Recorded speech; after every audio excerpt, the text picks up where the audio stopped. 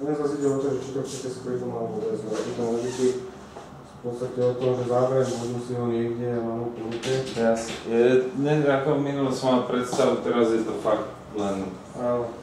že som povedal, že som niečo našiel nejaký takýto obchod a že idem sa pozrieť, či tu nájdem niečo jasne, jasne. použiteľné.